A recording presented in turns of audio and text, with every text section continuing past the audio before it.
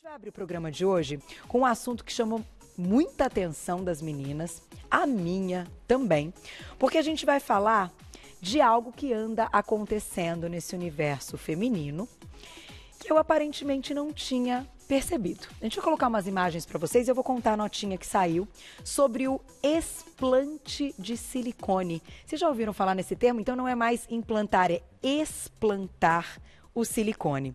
Nos anos 2000, ocorreu o boom do silicone. As mulheres colocavam próteses para aumentar os seios e iam se sentir aí dentro desse padrão de beleza. Dados de 2018 ainda mostram que 18,8% das cirurgias foram para colocar implantes nos seios. Ainda é a cirurgia mais realizada em todo o país. Mas, recentemente, muitas mulheres estão postando nas redes sociais que estão explantando o implante de silicone.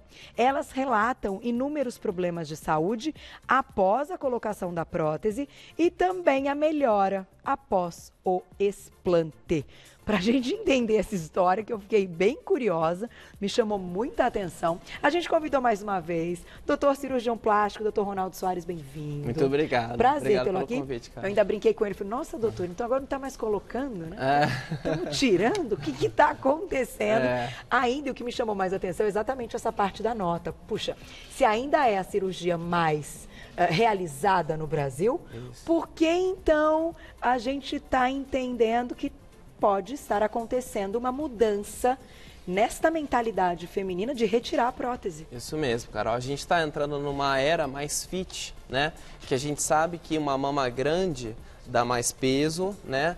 Para a mulher fazer as atividades do dia a dia, acaba atrapalhando, né? Para fa fazer atividade hum. física, né? A mobilidade, questão de dor na coluna. E os problemas relacionados também que apareceram recentemente, a descoberta do linfoma, hum, né, relacionado sim. à prótese mama, que abriu os, os olhos né, de toda a sociedade médica para isso, para em relação à prótese mamária. A gente discutiu aqui no programa, na sequência uh, que foi relatado aí a questão uh, deles terem encontrado algo que poderia ter uma relação com um certo tipo de câncer, certo? Então, sim, se você quiser comentar a respeito, tá. como é que anda então essa história a, atualmente? Porque eu eu acho que deve ter pelo menos uns cinco meses, por aí. Tem até um pouco mais, assim, tem mais, os primeiros relatos têm aproximadamente cinco anos, tá? Ah, sim. Não, Só mas que, que veio à tona... Cá, uns cinco meses. Uns cinco meses, por né? Aí, isso mesmo. Tá. É assim, Carol, a, a, cirurgia de prótese mamária é uma das cirurgias, é a cirurgia mais comum, né? Esse dado da Sociedade Brasileira de Cirurgia Plástica, 2018, foi a cirurgia que a gente mais realizou em 2018. Então, assim, por questão estatística, né, é, acaba que também pode dar mais problema. É, mas as pessoas podem ficar tranquilas, né, que esses casos de linfoma são casos super raros na população. Uhum. São muitos poucos casos escritos no mundo, tá? De linfoma relacionado à prótese mamária, tá? tá? Esse linfoma, basicamente, a gente, nas pesquisas que estão avançando, a gente está vendo que quando vai produzir a prótese mamária, ela sofre um, um, processo químico na cápsula da prótese, tá. tá? E a gente viu que nesse processo químico, ele acaba gerando algumas reações no nosso organismo. E essas reações podem ativar linfócitos, tá? Que são células de defesa nossa. Que a longo prazo pode ocasionar um linfoma, mas isso é muito raro. E que eu ouvi também, eu não, acho é. que aqui na pauta, em outros lugares que eu pesquisei, que também está associado a uma questão de predisposição genética isso. de algumas pacientes. É, eles estão fazendo estudos genéticos também para ver se essas poucas, essas, esses raros casos de linfoma relacionado à prótese, é um linfoma que é bem na cápsula tá, uhum. tá, da prótese. Ou seja, ele fica confinado ali na mama, ele, ele em geral não vai para outros linfonodos. É, esses casos estão fazendo estudos genéticos para ver se esses pacientes têm predisposição genética a ter esse tipo de câncer. Ok. Então, vamos fazer o seguinte: antes do doutor contar como é que é a cirurgia para retirada Isso. e o que o que fazer, porque imagino eu, e aí já joga a bomba pro pessoal de casa. É. Você estica essa pele, você coloca uma prótese, de repente você retira. Oi, né? É. A flacidez, a pele, enfim. É. O que fazer você vai me contar daqui a pouquinho. Antes a gente vai ouvir as palavras da jornalista Daiane Levanchin. Espero ter acertado a pronúncia do nome dela aqui. vamos lá, vamos ver o que ela tem para contar. Ao longo dos sete anos que eu tive silicone, eu fui diagnosticada com gastrite e intolerâncias alimentares, com alergia de pele, com condromalácia, que é um problema nas articulações do joelho, com infecção urinária de repetição, candidíase de repetição, enxaqueca, isso fora outros sintomas aleatórios que não teve um diagnóstico médico, mas que eu me sentia sempre muito cansada. Mesmo que eu dormisse 12 horas seguidas, eu acordava com olheiras profundas, com a pele seca, manchada, com aparência de cansada mesmo. E Durante sete anos eu não tinha ideia do que estava acontecendo. Antes eu nunca ficava doente, antes da prótese, e de repente começou a aparecer todo que tipo de doença no meu organismo. Até que eu encontrei uma reportagem falando sobre a doença do silicone e tinha uma lista de sintomas lá e eu comecei a fazer um check, check, check em todos os sintomas que apareciam. E no momento que eu li aquela reportagem, eu falei: é isso que eu tenho, é esse meu problema. E ali estava decidido que eu faria o explante, para mim não havia mais dúvidas. E foi assim, eu fui atrás de uma cirurgiã já especializada em explante, que já está atualizada em relação à doença do silicone. E no momento que eu acordei da anestesia depois da cirurgia, eu já estava me sentindo melhor respirando melhor, a minha aparência de cansada já tinha sumido, eu já estava sem olheiras, a minha pele já estava numa coloração humana, porque ela estava cinzentada. E desde então, faz só três semanas da cirurgia, mas eu não tive mais dor no joelho, não tive mais uma dor de cabeça, não tive mais nenhum dos sintomas que me incomodaram durante todo esse tempo. Então, para mim, o explante foi a melhor escolha que eu fiz por mim mesma em toda a minha vida e a cura é real. O silicone estava me envenenando e eu sou a prova viva disso.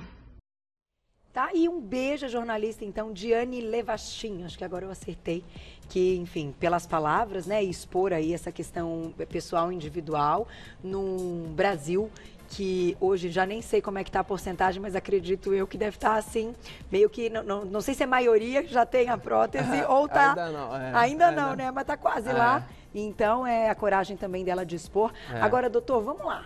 É, antes de falar da cirurgia em tá. si, precisamos entender algumas coisas.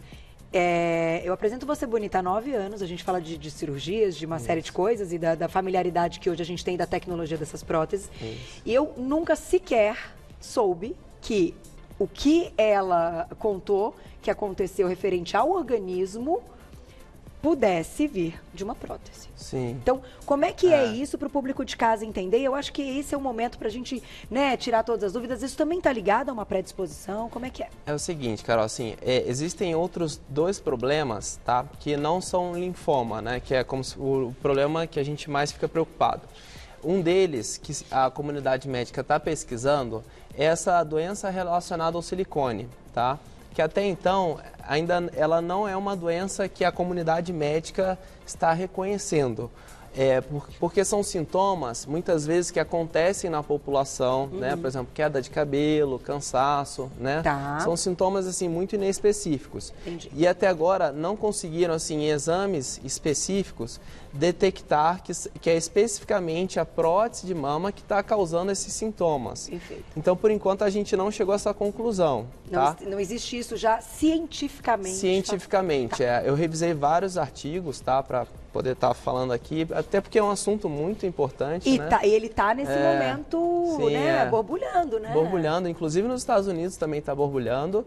Isso é um fato. A gente está entrando numa era agora de botar próteses menores ou retirar e, enfim, remontar a mama, tá? tá. Por, por essa nova fase é, fit da população, né? Da gente fazer atividade física, essa questão de estar no peso legal, tá? tá. E a questão da, da, beleza também, então a gente está nessa fase de trocar as próteses.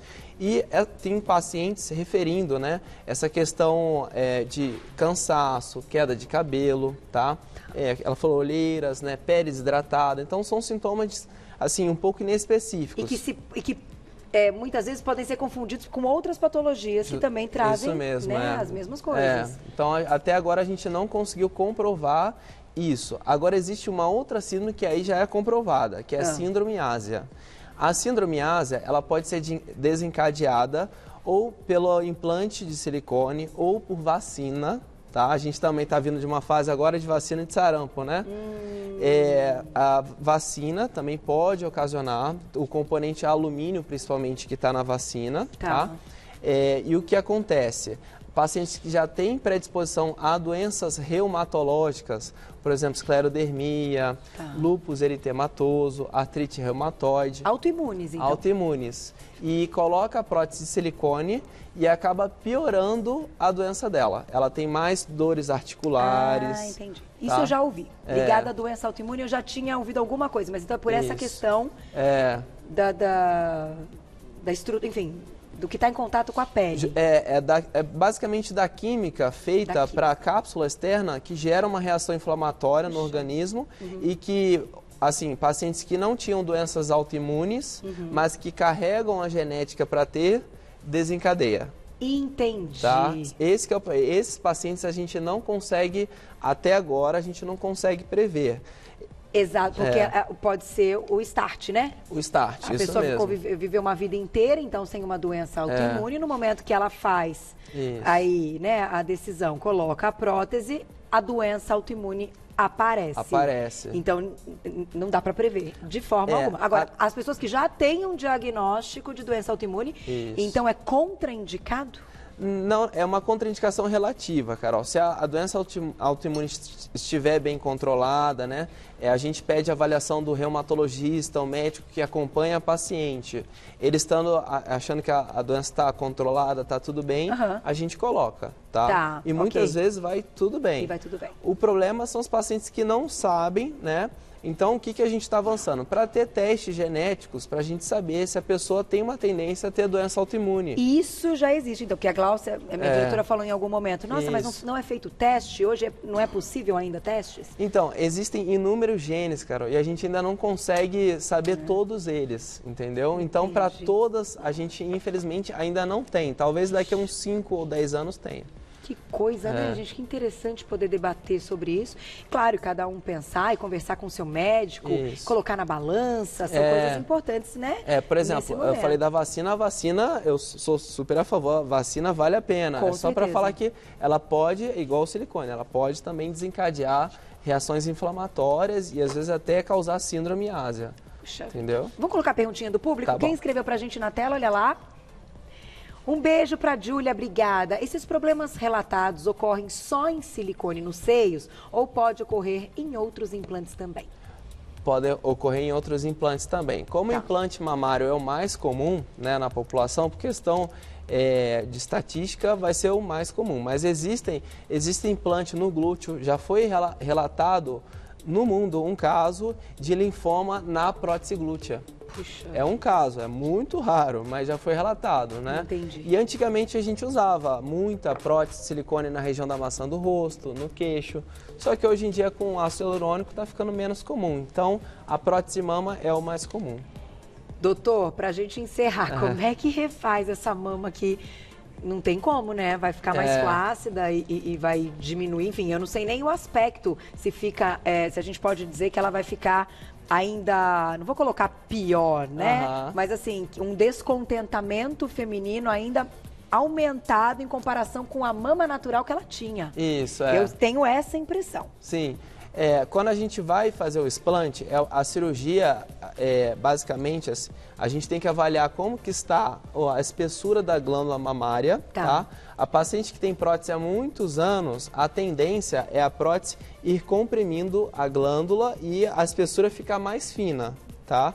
Então, com exames de imagem, a gente consegue avaliar a espessura e, através uh, das medidas né, com a trena, com o paquímetro, a gente consegue ver se ela tem excesso de pele. Entendi. Tá? Então, a gente vê se é só tirar a prótese e tirar a cápsula que fica ao redor da prótese, hum. ou tem que tirar o excesso de pele. Tá. tá? Quando tem que tirar o excesso de pele, às vezes é pela areola ou às vezes faz aquele T invertido. Uhum. Mas a gente consegue remontar a mama dela, se ela tiver uma, uma espessura boa da glândula, a gente consegue remontar a glândula dela como se fosse uma autoprótese com a própria glândula mamária. Ah, é? Além de poder enxertar a gordura. É, eu ia te perguntar se outra coisa a gente poderia colocar É. no lugar pra. é, não sei se pensar num seio menos flácido, enfim, mais durinho, mais bonito, ou por uma questão mesmo do tamanho exato que a pessoa quer que fique o seio. Isso. A gordura pode. Então você tiraria de outro lugar É. e coloca no seio. Aí não O- tem problema. Aí não tem problema. Um dos mais comuns é a gordurinha axilar, né? A paciente verdade. pode ser a mais magrinha que for, que ela tem aquela gordurinha. É um horror. Tem outras regiões, que é a lateral das mamas, abdômen, né? Coxa, é, tem as costas, mas a gente com, a, com o enxerto de gordura, a gente consegue, não vai ser um aumento tão bom quanto da prótese mama, mas a gente com enxerto de gordura consegue aumentar. E além disso, se ela tiver uma boa glândula mamária, a gente remonta a mama dela com a própria glândula. Que interessante, doutor. Olha só, e Essa- tudo isso numa mesma cirurgia. Na mesma cirurgia.